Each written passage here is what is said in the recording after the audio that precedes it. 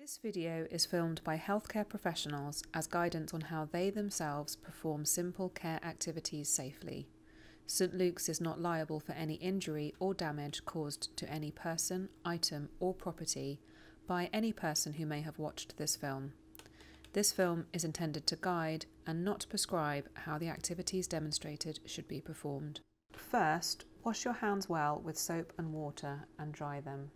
Put on the protective equipment that you have aprons, gloves, and a mask if you have one. Check the injection site for any redness, any tenderness, any swelling, or any leakage around it. Take the bung off the end of the line.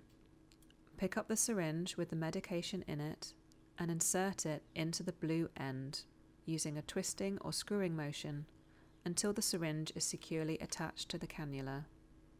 Slowly push the plunger of the syringe until the barrel is empty.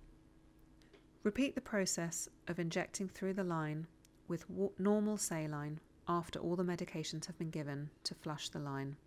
Remove the syringe using a twisting motion to unscrew and place the syringe in a bin.